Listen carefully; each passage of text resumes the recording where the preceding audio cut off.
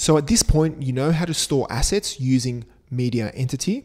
You know how to embed assets using entity embed. Now let's look at how to browse assets using entity browser. So the first thing we need to do is install entity browser. So click on extend and search for entity browser and just install entity browser. Then go to configuration and click on entity browsers. Now, creating an entity browser requires two steps. You first need to create a view which will be used to show a listing of media assets. And then you need to create an actual entity browser and then point it to this custom view. So let's first create the view. So click on structure and then views and click on add new view. And we'll call this asset browser. And from the show dropdown, select media and then sort by newest first.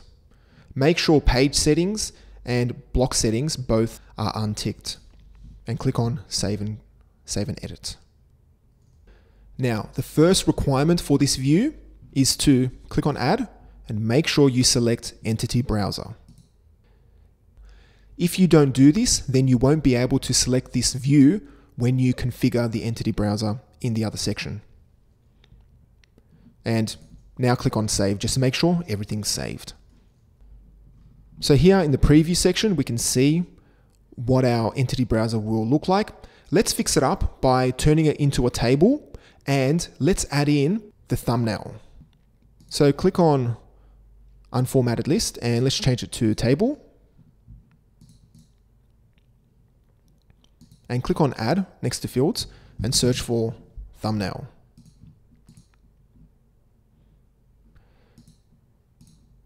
And I'll select thumbnail as the image style. And click on save. So here you can see that our entity browser is starting to take shape.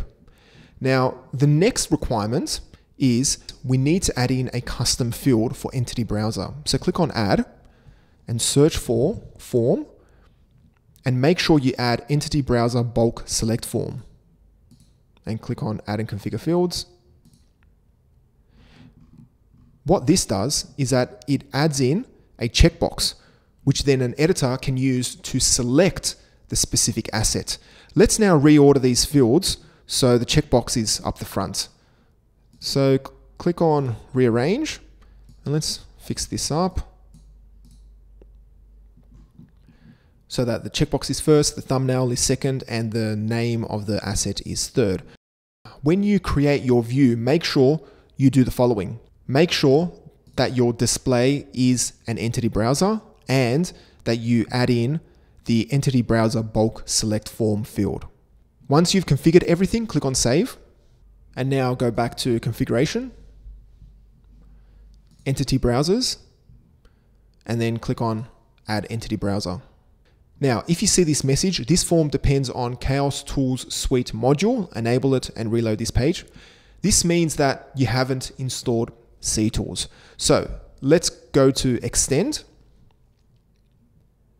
and search for CTools and make sure you install it. Let's go back to Configuration, Entity Browsers, and click on Add Entity Browser. Let's call this asset browser. And from display plugin, select iframe because apparently modal isn't compatible with entity embed. So just a top tip there. Leave widget selector plugin as tabs and selection display plugin as no selection display. And then click on next. Make sure you check auto open entity browser this just saves the editor from having to press a link when they click on the entity embed button. It'll just automatically open up the entity browser. So just click on next and then next again. And then from here, we configure the actual tabs in our Entity Browser. So first, select Upload Images. This will let an editor upload image bundles directly from the browser. So let's just change the label to Upload Images and then select View and then come down here and we'll select our view, which we created earlier.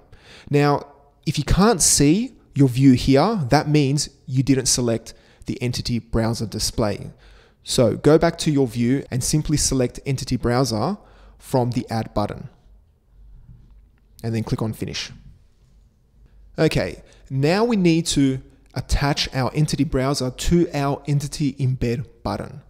So let's go back to configuration text editor embed buttons, and then click on edit. And you should see a drop down. Make sure you select the browser we just created, asset browser, and then click on save.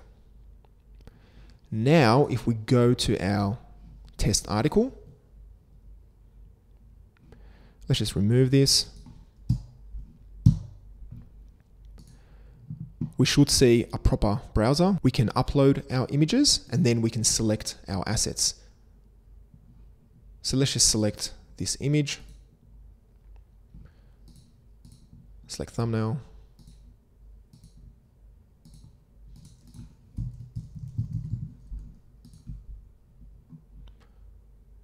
And there you go. Our asset has been embedded from our fancy new entity browser.